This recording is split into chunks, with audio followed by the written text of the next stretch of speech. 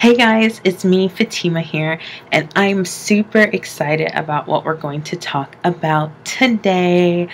Um, I literally had this revelation this morning, and it's a really cool story about um, how to stop your life from being a series of unfortunate events and how to start living the life that you truly want and waking up every day and feeling excited about life instead of the opposite, like groggy and like, why is this happening to me? So, here we go. So I woke up this morning and I was feeling really good.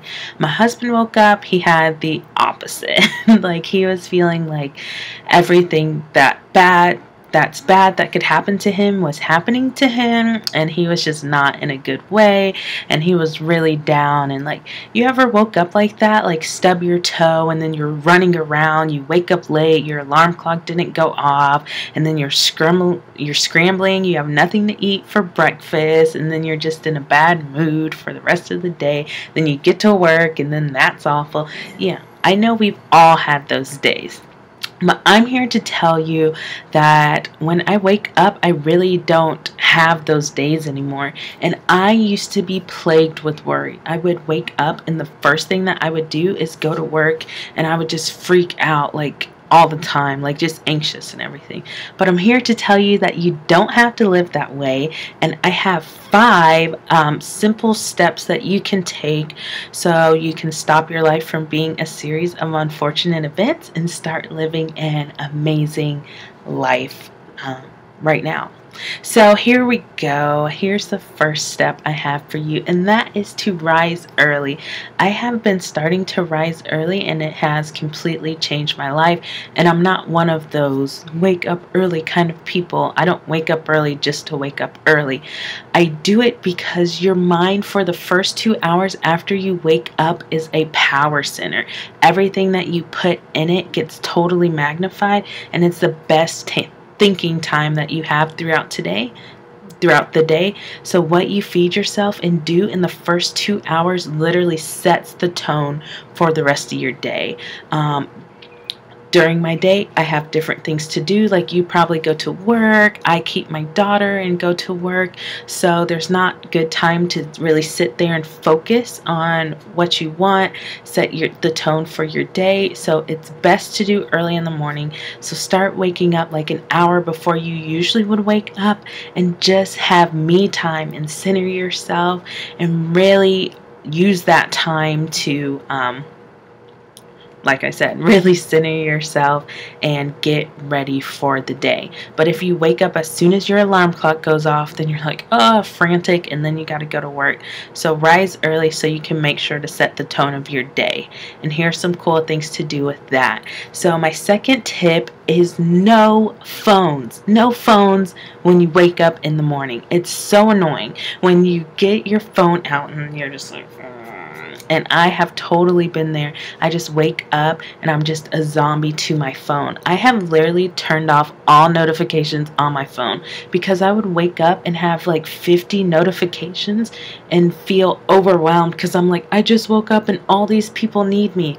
They do not need you. You are not going to save the world at 7 o'clock in the morning. I mean, you could, but what I'm saying is you control your day. Don't let these notifications and pop up pop-ups like come and, and interrupt you because that's what they do they interrupt you. So the first thing you do is you wake up and you're reading bad news you're reading horror stories your friend is upset so you have to deal with them. And you really need to protect that time in the morning push that all away and be sure that you have time to center yourself and get yourself right in a good frame of mind for the rest of the day. So I don't have any phones in like the first couple of hours that I wake up. I don't want the distractions and honestly, there's nothing I really need to do on my phone. You don't need to check Instagram because you're just feeding other people's ideas, their brain farts into you. You have to protect these um, precious hours of the morning because it's going to set the tone for the rest of your day. So, rise early and no phones. After that, my third step is exercise. You should have a morning routine, and I hate the word routine because it sounds like we're gymnasts or something, but something that you do every morning because schedules are so important.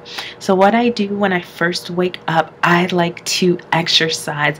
And I'm not saying become a gym rat or get super fit, but the benefits are incredible. Obviously, you will get fit if you're exercising every day, but the most important thing with exercise is you get your body moving. I just go and I knock out 50 jumping jacks. I take my dog for a walk. But when I do my jumping jacks, it's my favorite thing to do because I can really focus and then my heart rate gets pumping. Your energy gets up, your blood flow is going, which is important if you've just woken up because you want to wake your body up and you have clear focus for what you want to do for the rest of the day. So definitely exercise. And it doesn't have to be a regimen. I literally do it for like 60 seconds a day sometimes. But my blood is pumping. I'm feeling good, of course, because it releases um, dopamine or endorphins, one of those fancy words, and you feel better about yourself. Your self confidence rises. And so there's so many benefits of just knocking out a quick workout. Uh, my next step to do in your morning ritual is visualization. So I have another video on this, which is about having a clear vision of what you want to be, but visualize yourself for who you want to be. A lot of us struggle in life because we have zero vision of what we want. So we just accept what we get. But I'm here to tell you start off the day with visualization. What kind of life do you want to live? What kind of business do you want to have? What kind of worker do you want to be when you go to work? How do you want to be? Do you want to be a happy, joyful person, successful, abundant, like super excited, hanging out with your friends? Um, visualize yourself already being that person. Write down exactly what you want because if you don't, you're just literally rolling around letting random things happen to you randomly. So you have to have a vision for what you want. And I just take like 10 minutes to just really dwell on my vision and get excited and feel all those emotions. Oh, I love hanging out with my friends or having good conversation. I love my business. I'm super booked out. Like those are the things that I want. And crazily enough, I've started just dwelling on those and being excited. And for the past week, I've gotten like all of those things. I'm super booked out this month. My friends are coming over more than usual. We're having good conversations and good talks. But I never would have got that if I didn't know what I want want it and start walking towards that. So that's super cool. My last tip for having amazing days is gratitude. So I do this in my mornings too, usually when I'm exercising or going for a walk or something, but just being really thankful for the day and living in the now because the problem that we have a lot is living in the past, which we can't change, or the future, being anxious about something that isn't to come. You have to have the faith that you are so like equipped to handle anything that comes in the future that you're not worried about it now. The only time that really exists is right now. So that's what you put your focus on and just being grateful for all the things you have right now. Like so many times I would wake up and be worried and I would just like freak out because I'm thinking about lack. I'm thinking about debt. I'm thinking about I had to do this in like 50 years or I hope that this happens. And you're just not focused on now. You're thinking about random things that you literally have no control over. So I like to just stop and be thankful for the things I have now. So I think about my daughter like, "Oh my goodness, she's so precious." My business, I'm so excited that I can work from home and um, there are only two states that you can be in. You can either be in fear or love. And a lot of times we're in fear. When we're in doubt and worry and stress, we're in fear. So that's what happened to my husband this morning. I was telling him, like, he was got out the shower and he was like, I'm just nervous about. I'm like, you just woke up and all you're talking about is what you don't want. Talk about things that you do want or talk about things that you're happy of. All he could see was the negative things that he thinks are going to happen that are not even happening. But I said, instead, like, think about and praise the things that are going good. We're booked out this month. You love your job. Our daughter is awesome. We just got a new puppy and she can poop on mats and it's incredible And as you start to think like that, you see your energy just rises and you're more happy and you and you start to think like life really isn't that bad. So whatever you tell yourself more of is what you're going to experience and that's literally what you're going to think that life is like. But you're just looking at, you know, glass half empty or glass half full. Choose to look and think on and dwell on and celebrate all of the good things.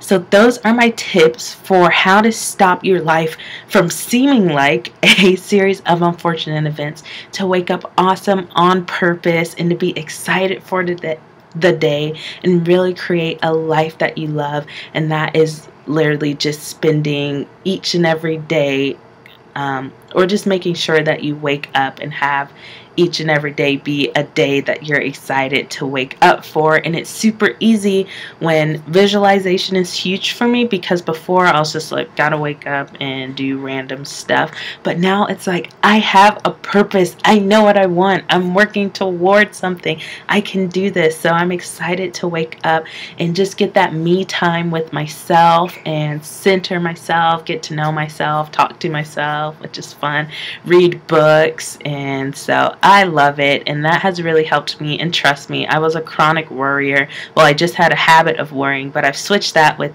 a habit of thinking positive and abundance instead of lack and um, really taking the time out to center myself and do those cool things. So, once again, my tips for you are to rise early, an hour before you have to do anything, at least, so you can spend that time really focusing on yourself and centering yourself and really thinking positive and dwelling on how amazing your life is right now. No phones in the morning because they're just distractions. You don't need them anyway um, exercise. So once you wake up, get your body moving and your blood pumping. It'll help you have more energy. Really wake up. You'll look and feel amazing, and you'll look in the mirror and be I'm so hot. Visualization. You have to have a vision for what you want and who you are or who you want to be, or you're waking up with no purpose in life. You're just letting things happen to you. So create a wild vision for yourself and get excited about that and gratitude. Gratitude changes everything because there's only two states we can be in fear, which is doubt, worry, being anxious, da da da da, or love, which is feeling excited and, and thanking um, the Lord for what you already have. And literally, when you start to think like that, you see how, like, good your life actually is right now. Even if there's something hard or bad going on, if you just dwell on the good, you start to think, yeah, I do have this going on right now, but look at all the other things that I have as well.